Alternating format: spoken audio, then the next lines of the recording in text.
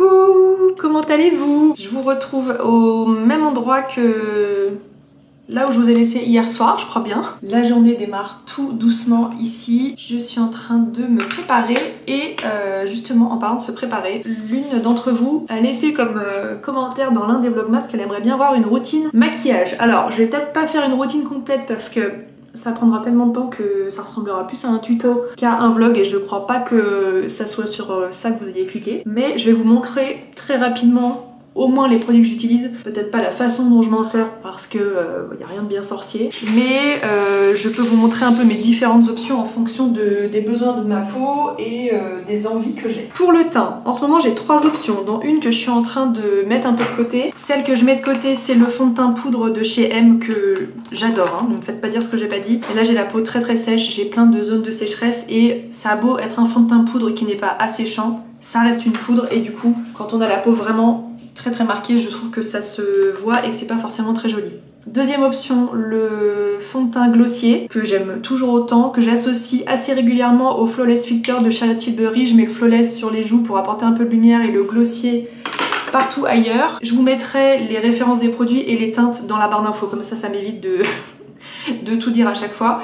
Et la troisième option, c'est celle que je vais faire aujourd'hui, c'est crème de jour avec toujours les gouttes bronzantes de chez Drunk Elephant, le correcteur Dior Backstage que j'adore, que je viens appliquer euh, partout où j'en ai besoin. En fait, je m'en sers euh, quasiment comme fond de teint, quoi. Voilà, je quadrille mon visage comme ça, et en fait, j'aime bien le laisser juste un tout petit peu posé comme ça, le temps qu'il sèche un tout petit peu. Pour les cernes, le correcteur, comment s'appelle-t-il? Il m'en reste vraiment plus beaucoup.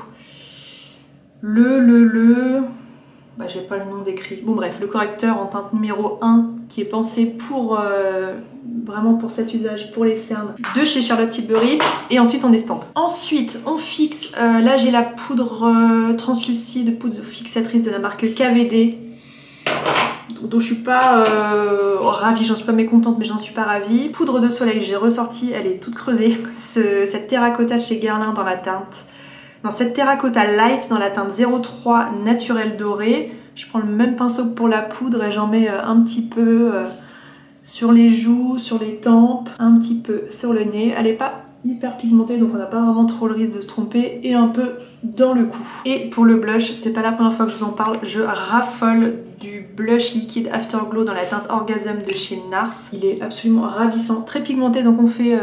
Juste un point de chaque côté. Et je l'estompe alors avec le premier pinceau que j'ai sous la main c'est pas forcément le meilleur mais écoutez ça passe. Regardez comme c'est joli. C'est nacré en étant un tout petit peu corail. C'est un super bon produit et il tient très bien dans la journée. On fixe avec un peu d'eau de beauté de chez Caudalie c'est vraiment la routine maquillage du quotidien. Quand euh, j'emmène ma fille à l'école, on se lève à 7h30, à 8h on est dehors et j'ai eu le temps de faire ça, de l'aider à s'habiller, de la faire manger, de manger moi-même. Donc vraiment c'est la routine euh, vraiment hyper hyper rapide. Pour le haut du visage, c'est-à-dire euh, yeux et sourcils, tout d'abord pour les sourcils j'ai le Goof Proof de chez Benefit dans la teinte 2,5. Pour les yeux c'est toujours un coup de recourbe cils, la base The Lash Former dont je vous ai parlé dans le vlogmas numéro 9. Pour les cils du bas, le mascara de la marque 3CE, un petit mascara tout fin. Et pour le mascara tout court, oui j'utilise beaucoup de trucs sur mes cils, le Lash Paradise Waterproof de chez L'Oréal que j'ai racheté et que j'aime beaucoup. Éventuellement les jours où j'ai un peu envie, une pointe de crayon mais 90% du temps c'est vraiment euh, juste du mascara. Et voilà le rendu final. Alors je pourrais faire euh, beaucoup plus, beaucoup mieux, probablement. Mais euh, pour mes envies du quotidien, c'est-à-dire masquer ce qui me plaît pas, mettre en valeur, en avant ce qui me plaît davantage, je trouve que c'est bien assez. Je filme m'habiller et je vous montre ma tenue du jour, même si elle aura probablement rien d'exceptionnel. Et voilà pour ma tenue du jour. je disais rien d'exceptionnel parce que je pensais pas que ce t-shirt serait sec, je l'ai lavé hier et je pensais qu'il était encore humide, mais non, je peux le porter C'est que je vous ai présenté euh, dans la vidéo euh, où j'allais faire mon shooting chez Des Petits Hauts. Et je vous avais présenté le gilet aussi, je vous mettrai les deux modèles de ces deux pièces parce que c'est la collection automne-hiver actuelle. Et donc me voilà en noir, ce qui est quelque chose qui arrive très rarement, mais avec cette petite touche léopard, vous voyez, j'ai retroussé la, manche du gilet pour qu'on voit apparaître ici. J'aurais peut-être pu changer de ceinture parce que ça aurait été plus joli, mais pour être tout à fait honnête, j'ai une flemme intersidérale et vu mon programme du jour, euh, bah, je vais pas faire un défilé de mode, donc ça sera très bien comme ça. Le jean, c'est le Gaspard de chez pro mode. Un jean slim, je sais que ça n'est plus du tout à la mode, mais écoutez, euh, je, fais de la résistance parce que... Alors j'aime bien toutes les formes de jeans, mais vraiment j'aime bien les slims, donc je continue à en porter même si je crois que ça n'est pas du tout la tendance actuelle. Mais peu importe. Et en bijoux, si vous ignorez mon élastique à cheveux, j'ai ce bracelet chez Aglaya, je vous le montre d'un petit peu plus près. Je vous l'avais présenté dans une, euh, une, ancienne vidéo et je me souviens plus de son nom mais j'essaierai de vous le remettre euh, en barre d'infos également. Mes petites créoles, un oiseau sur la branche que j'ai depuis longtemps, je sais même pas si elles existent encore, je les porte très souvent parce qu'elles sont vraiment ravissantes et elles vont avec tout. Et voilà pour le look du jour La très bonne nouvelle quand tu ne sais pas cuisiner pour trois personnes, c'est que tu as toujours des belles portions à déguster le lendemain.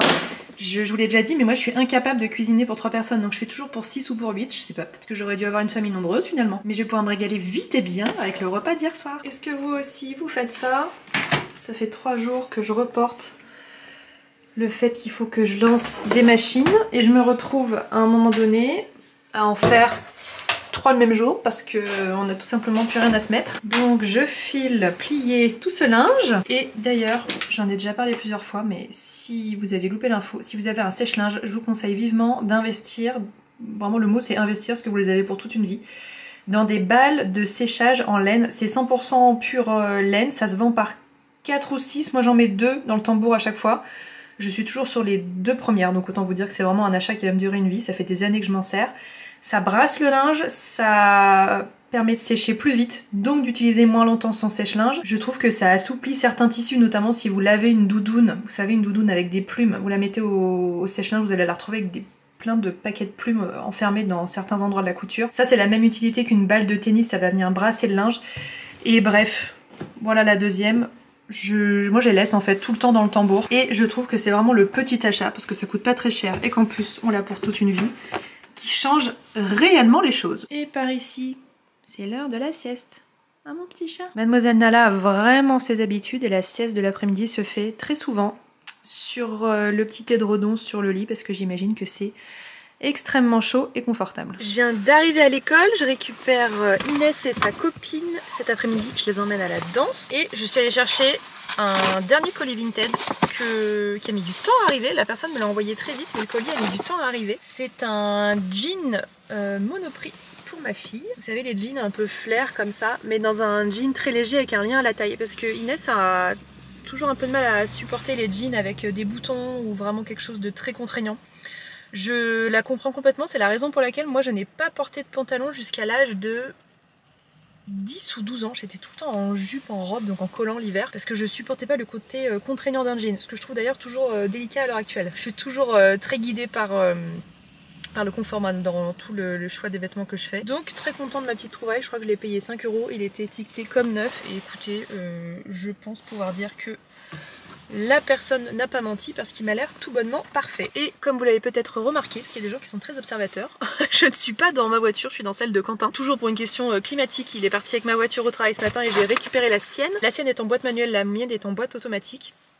en fait, quand j'ai acheté ma voiture, je me suis dit je n'arriverai jamais à, reconduire sur une voiture euh, boîte manuelle.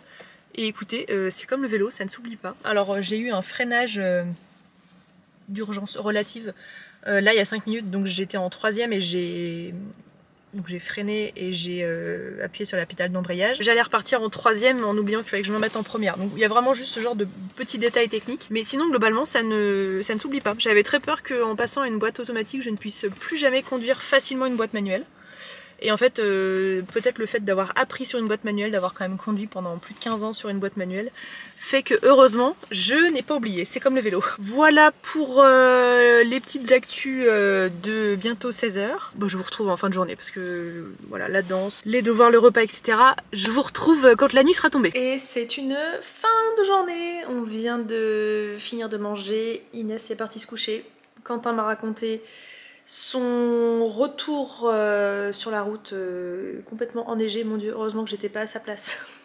je vous avais déjà décrit euh, voilà mon, aversion pour les routes enneigées. Même si techniquement je sais rouler sur la neige, c'est quelque chose qui me, qui me panique complètement donc j'étais crispée rien que de l'écouter parler. Mais voilà, tout le monde est rentré à bon port et tout va bien. J'ai appris d'ailleurs que les domaines skiables, enfin quelques-uns très proches de nous et qui sont vraiment en en moyenne montagne ouvrait dès demain, alors euh, de façon partiel pour démarrer, mais par exemple le Semnos, qui est donc la station la plus proche, qui est vraiment pas très haut, le Semnos ça doit être à 1000 mètres ou 1200 mètres grand maximum, ils ouvrent une partie de la station demain, donc les chutes de neige ont été, euh, comme ce qu'on a pu observer, très généreuse et c'est euh, très étonnant que le, voilà, le domaine ouvre le 6 décembre puisque demain on sera le 6. J'espère que ça va rester comme ça pour euh, le reste de la saison hivernale pour qu'on ait de belles conditions. Je vous invite comme tous les jours à participer pour tenter de remporter la Neroli Box du jour. Je vous mets toutes les infos de participation sous la vidéo. S'il vous plaît, ne m'envoyez pas de mail sur mon adresse, le blog de neroli.gmail.com. Il y a plein de personnes qui l'ont fait.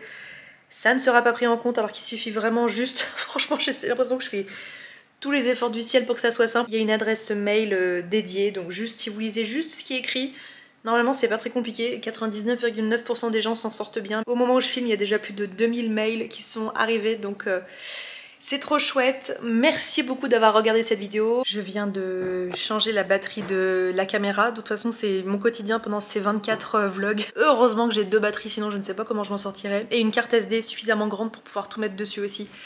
Demain, donc on est mercredi, on est tous les trois, journée en famille. Je vous retrouve jeudi, enfin demain pour vous, mais pour la suite des événements. A très vite